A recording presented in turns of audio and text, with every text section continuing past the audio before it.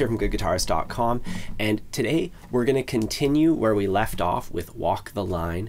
Last time we learned the intro and we learned the basic chord progression. Well, in this lesson, we're going to learn how to play through the entire song because there's quite a lot to it. You know, he plays through the basic chord progression and then he changes keys through the circle of fifths to the next closest key, and then he plays the entire song in that key, and then he changes keys again.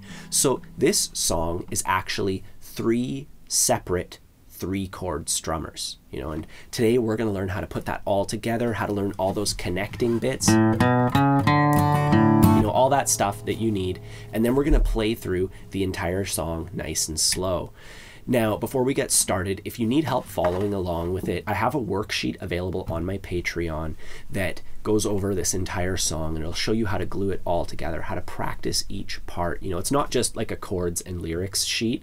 It has that, but it has a lot more on it. So, you know, please check that out if you're if you find that you need any help following along and knowing what's coming up, you know. Um, also, I have my free ebook, which is free for all my subscribers, and there's my premium courses, my beginner's course, my strumming course, and a few others. So please check those out. Um, like and subscribe if you'd like to help support the channel. Leave a comment down below if you have any trouble following along or you need any help and have any questions for me. Uh, otherwise, with all that aside, let's start off with our lesson. The first thing we're going to do is a quick recap. So our first verse used B7 then E, and A. And let's just take a super quick voyage into theory land here. Um, we're using the E, A, and B7 chords, and that's in the key of E. Now, if I write out all the chords in the key of E, you'll see that those are the 1, the 4, and the 5. You know, these other chords, they sound great, but we didn't use them in this song, so we don't really care. We're just going to focus on the 1, the 4, and the 5. Now, next, he's going to go to the key of A. And in the key of A, if I write that out, we have the 1, the 4, and the 5. That's A, D, and E. So we're going to be using those three chords now. So we're going to take our chord progression that we played in the first verse, and we're going to substitute each of those for the appropriate number. So since we're in the key of E, B7 is 5, E is 1, A is 4. So we switch those all into their corresponding number. And now we're going to take those numbers and we're going to see what chords from the key of A those numbers are. So in the key of A, A is number one. So all our E's have been replaced by A's. You know, and D is number four, so the A chord gets replaced by a D chord. And then E is five, so the B7 chord gets replaced with E7. So we kind of just changed our chord progression into numbers, and then we changed it from numbers back into our chord progression, but in a different key. You know, it's just like a little two step process. And that puts us in the key of A. So for our next verse, we're going to be using the A chord, the D chord, and the E chord. Now, we've already played A and E with our strumming pattern, but we haven't used our strumming pattern on D. So let's take a quick look at that. We have our D shape. The first, our root note is going to be the D string. And I like to take my thumb. You can see there how I'm covering the thickest string with my thumb. If you're not able to do that, it's no big deal, but it does help with making sure you don't accidentally get it. And then I just pluck the D string, down, up, and then the A string, down,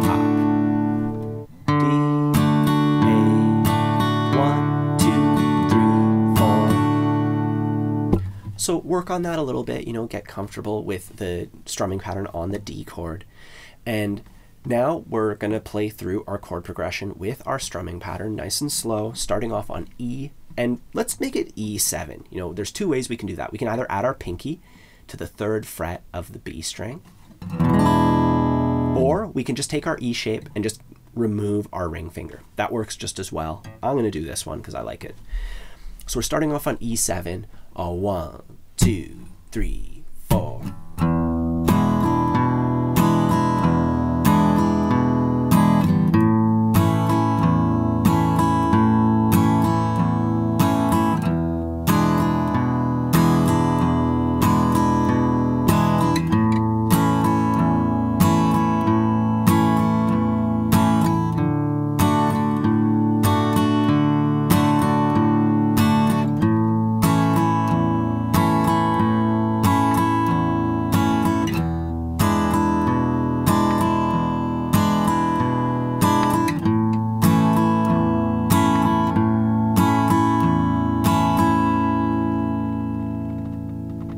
Cool. So that's the second verse. Now we have to figure out how to transition between the first verse and the second verse. I'll just play the last little bit of the first verse.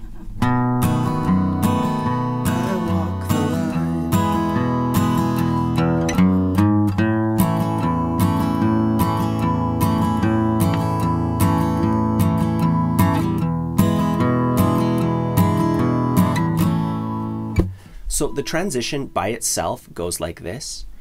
One, two, three, four, one, two, three, four, one, two, three, four, one, two, three, four, one, two, three, four, one, two, three, four. So we played three notes on the thickest string. Oh, two, four. And then we played the A chord with our pattern four times. And that's all we have to do for the transition. Now, as far as putting that in between the two verses, let's backtrack a little bit. We're going to start on the because you're mine, I walk the line. You know, the very last line of our first verse, starting on B7. Because you're mine, I walk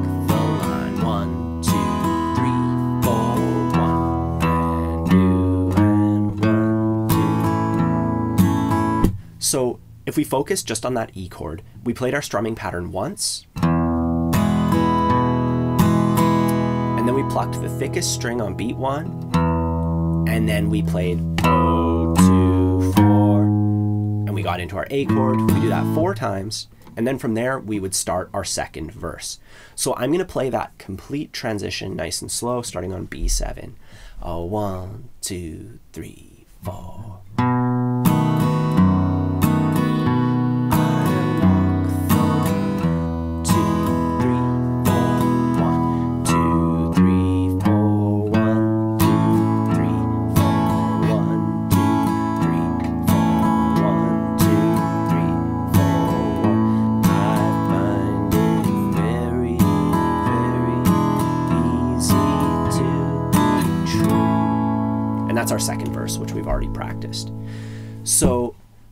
Want you to try just what I just did. You can just rewind over and over again and try that with me, where we're going between the last bit of the first verse and the beginning of the second verse using that transition. And now we're going to move on to the next key. We're going to do this again, going from the second verse to the third verse. So, a quick recap our first verse was in the key of E, so it used E, A, B7, that's the 1, 4, 5.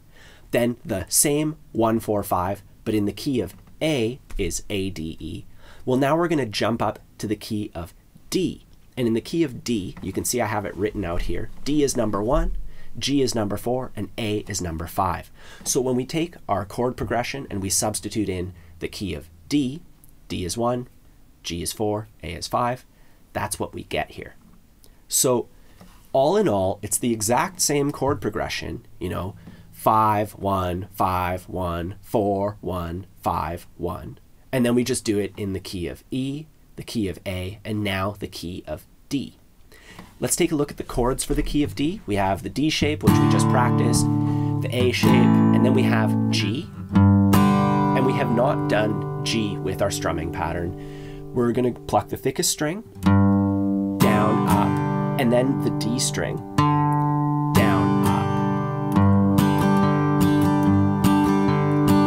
You're welcome to just keep hitting the thickest string, you know, if you want to simplify it, or totally, that sounds totally great. We'll start off by playing through our entire progression with those chords, starting on A, and we can do A or we can do A7, and A7's easy. You can just take off your middle finger, or I like to do it this way where I put my middle finger on the second fret of the D string, then my ring finger on the second fret of the B string. One, two, a one, two, three,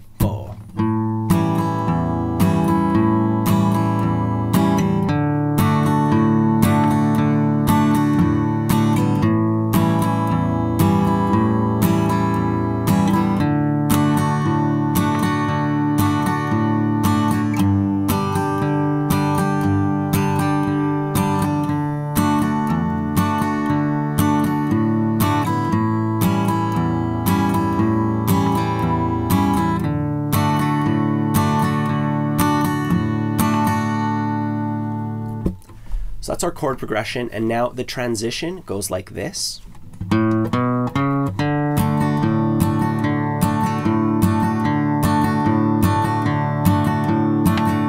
So it's the exact same thing as before, except we're on a D chord now, and we pluck those three notes on the A string.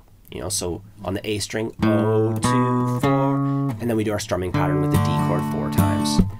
So transition's simple enough. Let's work it into our progression. We're going to start off at the end of verse two on the same same part of the song. Because you're mine, I walk the line, but this time it's an E7 chord. One, two, three, four, one. Because you're mine, I walk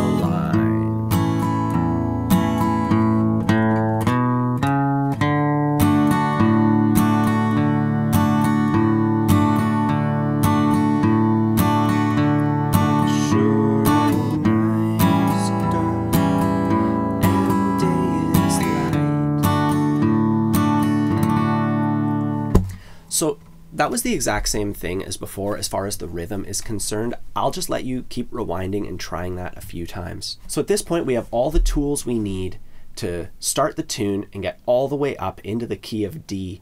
And now what we're going to do is go back into the key of A and then back into the key of E. You know, he kind of climbs up E into the key of A, into the key of D, and now he goes back down to the key of A and back down to the key of E finally, and that's where the song ends. So there's five verses total. You can see here which keys everything is in, and we already know how to play each verse. We just have to work those couple of transitions out. So we're in the key of D now for our third verse, and we want to go back to the key of A. The transition goes like this because you're mine.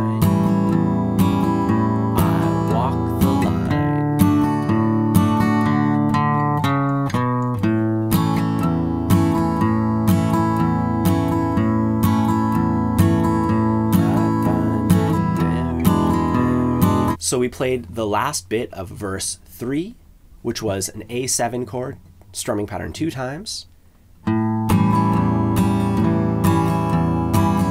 Then we played our pattern once on D, and then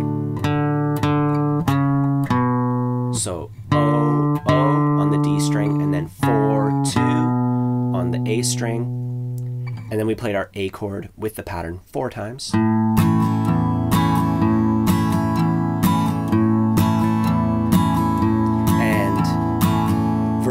4 is in the key of A. So we do it just like verse 2, where we start off on the E7.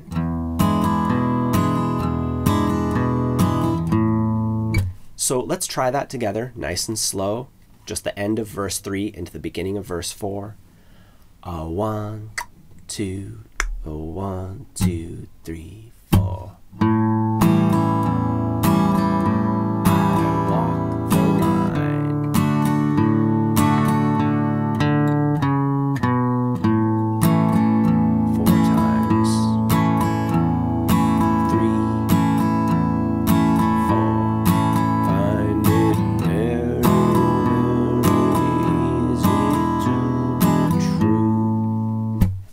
We would play through all of verse 4, and when we get to the end of it, we'd have to transition into verse 5, which is in the key of E, and it would go like this. Mine,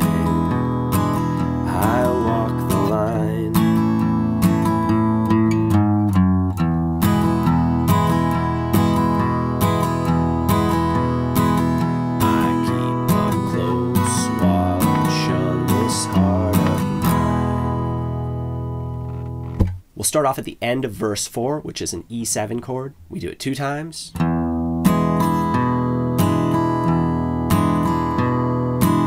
And then A chord one time. In our transition.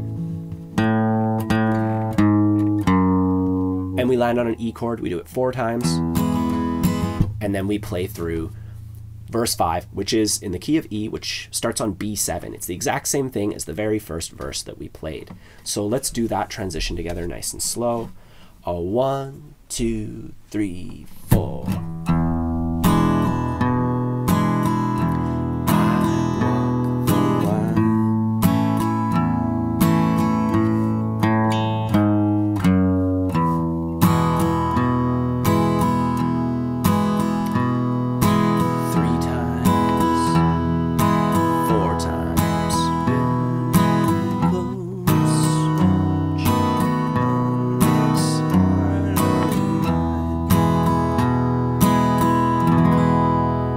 That's every little piece of this song, and the best thing we can do right now is play through the entire thing from start to finish nice and slow. And I'm to set my metronome to 96. That's pretty slow. It's a good slow medium tempo to get used to this tune. One, two, oh, one.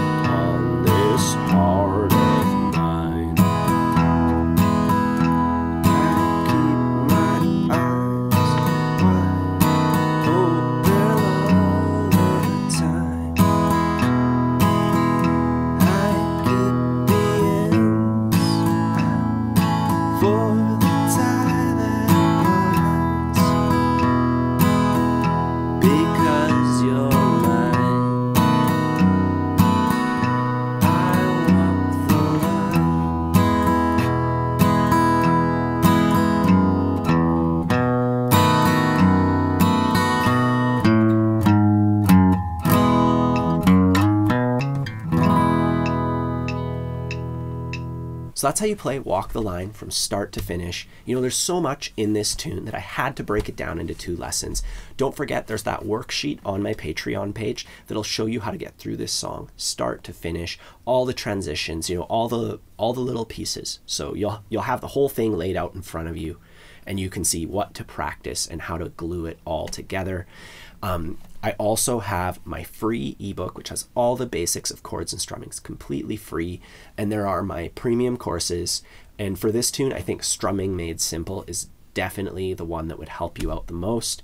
Um, it'll help you get your rhythm together inside and out. You know, no matter what you're doing, you want to learn how to play and sing at the same time. You know, there's so much in that course teaches you how to pick up patterns by ear so please check that out if you need any extra help Otherwise, don't forget to leave a comment down below if you need any extra help, like and subscribe, and have a fun time practicing. I'll see you soon.